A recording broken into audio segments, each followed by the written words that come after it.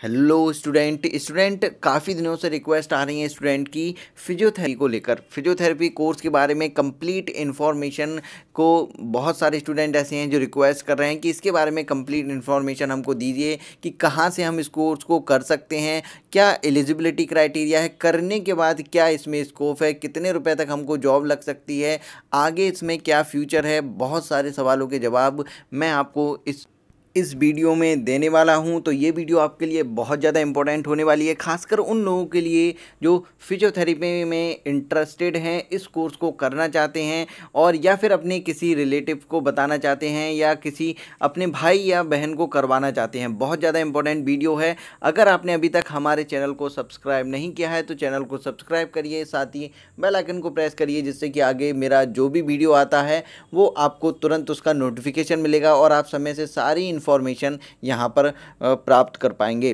तो यहाँ पर सबसे पहले बात करते हैं कि यहाँ पर फिजियोथेरेपी के लिए एलिजिबिलिटी क्या है, कैसे आप इस कोर्स को कर सकते हैं, ठीक है? तो देखिए, सबसे पहले जो है आपकी एलिजिबिलिटी वो ये है कि आपने टेन प्लस टू यहाँ पर फिजिक्स केमिस्ट्री और बायोलॉजी से यहाँ पर किया हुआ हो, ठीक है? फिजिक्स, केमिस्ट्री, बायोलॉजी आपकी यहाँ पर टेन प्लस टू में सब्जेक्ट होना चाहिए with fifty percent of marks अगर आप जनरल कैटेगरी से हैं, फोर्टी फाइव परसेंट मार्क्स आपके होने चाहिए अगर आप ओबीसी या अदर किसी कैटेगरी से हैं, ठीक है? तो ये एलिजिबिलिटी क्राइटेरिया आपका है। अब बात आती है इस कोर्स में आपका एडमिशन कैसे होगा? साथ ही कहाँ कहाँ कौन कौन से कॉलेज आपके लिए इस कोर्स को करने के लिए सबसे बेस्ट रहेंगे? और फिर हम लास्ट में बात करेंगे इसमें कि क्या स्कोप इसका है और फ्यूचर में क्या ऑप्शन आपके पास बीपीटी को करने के बाद आपके पास बचता है। ठीक है? इन सभी चीज़ों पर हम चर्चा करेंगे। सबसे पहले बात करते हैं कि आप कैसे इसमें एडमिशन ले सकते हैं। तो देखिए, इंडिया में दो तरीके हैं बीपीटी को करने के। पहला, आप गवर्नमेंट कॉलेज में एडमिशन ले सकते हैं किसी भी इंट्रेंस एग्ज़ाम के थ्रू। इंट्रेंस एग्ज़ाम होते हैं, ठीक है? और बहुत सारे प्राइवेट कॉलेजों में भी ये बीपीटी का कोर्स जो है अब चलाया जा रहा है। तो दोनों ही ऑप्शन आपके पास हैं, ठीक है? कुछ कॉलेजों के नाम मैं आपको यहाँ पर बता दे रहा हूँ, जहाँ से अगर आप बीपीटी करते हैं, इनकी वेबसाइट पर आप जाकर देखेंगे, बहुत सारे कॉलेज ऐसे हैं जो अपना खुद का एक अलग से इंट्रेंस एग्ज़ाम कराते हैं और एडमिशन उस इंट्रेंस एग्ज़ाम के थ्रू इन कोर्सेज़ में लेते हैं, ठीक है? मतलब इन कोर्सेज़ की क्या है बीपीटी में वहाँ पर एडमिशन कराया जाता है, ठीक? तो जो कॉलेज हैं, उनके बारे में मैं आपको बता दूँ। पहला जो कॉलेज है आपका, वो है आईपीएच आई करके आप इसकी वेबसाइट पर जाकर भी आप देख सकते हैं, ठीक है? दूसरा है, वो आपका एन ये मैं शॉर्ट फॉर्म आपको बता रहा हूँ, इन्हीं नामों से आपको वेबसाइट भी यहाँ पर मिल जाएँगी, ठीक है? गूगल में जब आप सर्च करेंगे तो इन्हीं नामों से आपको वेबसाइट भी यहाँ पर मिल जाएगी।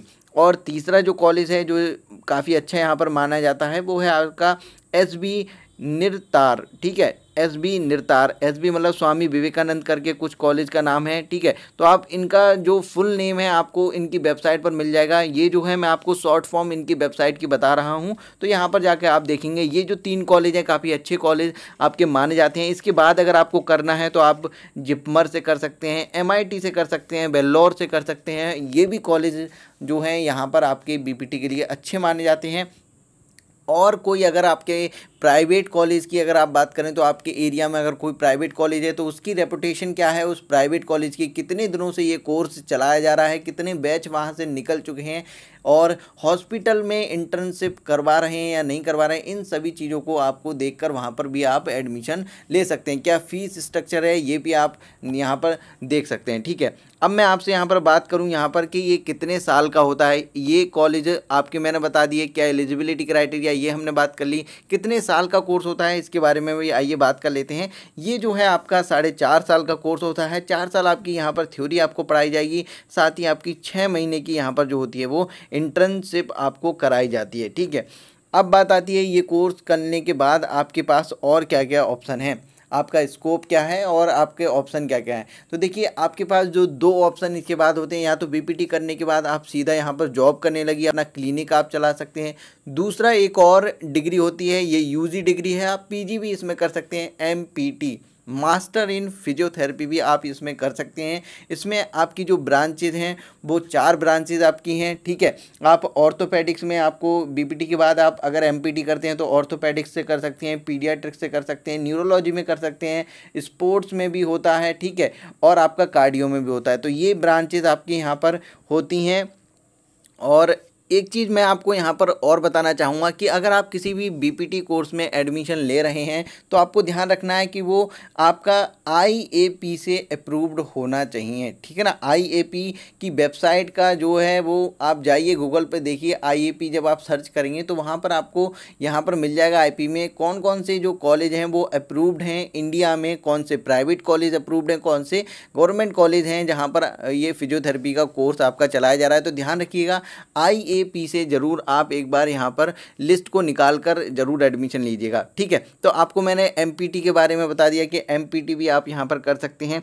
अब बात आती है कि फिजियोथेरेपी में आप क्या क्या यहाँ पर पढ़ते हैं और क्या क्या चीज़ें हैं जो फिजियोथेरेपी में आपको पढ़ाई जाती हैं, ठीक? तो इसके बारे में आइए, अब बात कर लेते हैं। देखिए फिजियोथेरेपी में आपको जो पढ़ाया जाता है वो सेम वैसा ही आपको मेडिकल कोर्स है तो आपको पूरी जो ह्यूमन बॉडी है, उसके बारे में आपको पूरी जानकारी यहाँ पर दी जाती है। आपको एनाटॉमी यहाँ पर पढ़ाई जाएगी, आपको फिजियोलॉजी यहाँ पर पढ़ाई जाएगी बायोकेमिस्ट्री आपको यहाँ पर पढ़ती है मेडिसिन और फार्माकोलॉजी भी आपको यहाँ पर पढ़ाई जाती है, ठीक है? जो मेन सब्जेक्ट होते हैं फिजियोथेरेपी के, उनमें आपको पढ़ाया जाता है यहाँ पर एक्सरसाइज थेरेपी इलेक्ट्रोथेरेपी और आपका यहाँ पर बायो मैकेनिक्स ये आपके मेन सब्जेक्ट होते हैं, जिनके थ्रू आप क्या करेंगे यहाँ पर, अपनी क्लिनिकल क्लिनिकल तौर पर आपका इन सब्जेक्ट का ही यूज़ यहाँ पर होता है। इन सभी थेरेपियों का यूज़ करके ही आप किसी भी पेशेंट का इलाज यहाँ पर करते हैं। ठीक है? तो ये सारी चीज़ें हो गई। आपको क्या क्या यहाँ पर पढ़ाया जाता है? अब बात आती है कि मैंने आपको एक रास्ता बताया था कि आप एमपीटी करके आप क्या कर सकते हैं, यहाँ पर पीजी की डिग्री यहाँ पर ले सकते हैं।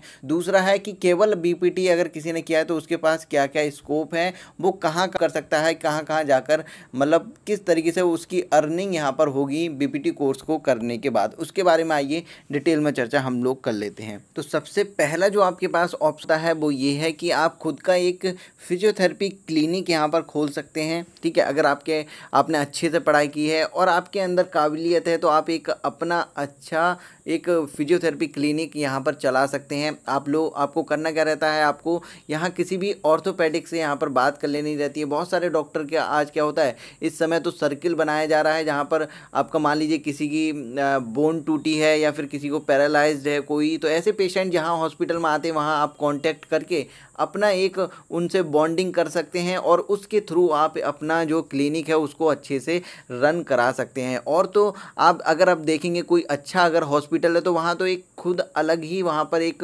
जगह होती है। यहाँ पर आपका फिजियोथेरेपी क्लिनिक अलग से वहाँ पर बनाया जाता है। एक बड़े अगर आप हॉस्पिटल में जाएँगे या किसी मेडिकल कॉलेज में भी अगर आप जाते हैं तो आपको हर जगह मिलेगा। तो आपके पास वहाँ पर भी ऑप्शन होते हैं। आप गवर्नमेंट जॉब में अगर कोई गवर्नमेंट मेडिकल कॉलेज है तो वहाँ पर आप वहाँ पर जॉब कर सकते हैं। क्लिनिकल क्षेत्र में भी और आपका पढ़ाने पर अगर कहीं कहीं भी अगर आपका चल रहा है ये है, ठीक है? तो वहाँ पर आप लेक्चरर भी वहाँ पर बन सकते हैं। तो दो आपके पास तीन ऑप्शन यहाँ पर हो गए। पहला, आप खुद का फिजियोथेरेपी क्लिनिक चला सकते हैं। दूसरा, किसी हॉस्पिटल में आप डॉक्टर के तौर पर आप काम कर सकते हैं।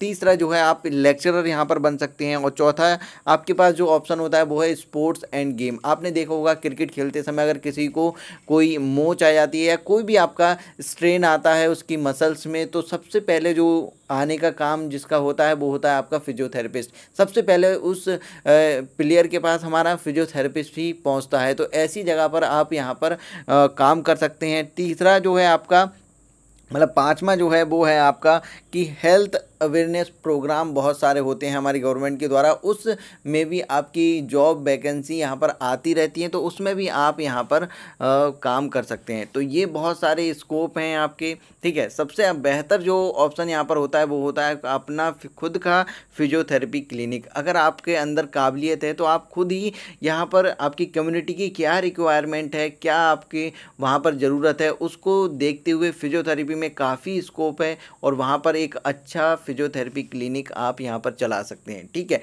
आगे आप इसमें और भी ऑप्शन होते हैं बीपीटी करने के बाद आप एमपीटी कर सकते हैं, ये तो मैं आपको ऑलरेडी बता चुका हूँ। साथ ही आप इसमें आगे पीएचडी भी आप इसमें कर सकते हैं, आप रिसर्च क्षेत्र में भी इसमें जा सकते हैं, ठीक है? तो ये सारी संभावनाएँ आपके पास होती हैं, फिजियोथेरेपी में और अगर इससे रिलेटेड कुछ और जानकारी आपको चाहिए मतलब इससे रिलेटेड कोई और डाउट हो, कोई और सवाल हो तो आप मुझसे कमेंट सेक्शन में यहाँ पर पूछ सकते हैं। मैंने आपको जितनी भी जानकारी आपके लिए ज़रूरत थी फिजियोथेरेपी से रिलेटेड सब जानकारी मैंने आपको यहाँ पर बता दी है। फिर भी अगर कोई और डाउट बचता हो तो आप बेशक मुझसे कमेंट सेक्शन में पूछ सकते हैं। जैसे ही मुझे समय मिलेगा, तुरंत आपके सवालों के जवाब देने की मैं कोशिश करूँगा। मिलते हैं नेक्स्ट वीडियो